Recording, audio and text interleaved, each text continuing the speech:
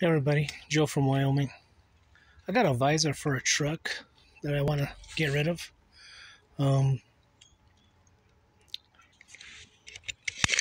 came off a 54 GMC. I honestly don't know if it was stock to that truck. When I look at pictures, videos of other 50s, Chevys, and GMCs, they're all different styles. So I don't know if these were aftermarket for those years or if they actually came factory. Um, anyway, let's just get some dimensions for those interested. So I'm uh, 13 and 3 sixteenths on the depth of that. And I am uh,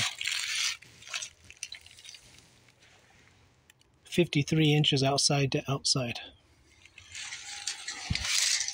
and say your truck was a 51 you know across the cab you know this does have flex right? And since we're here uh, this part bolts up to the windshield so that bolts there and then this part goes to the windshield. I do not have the brackets hinges I don't know what style came with them. I don't know if they were the.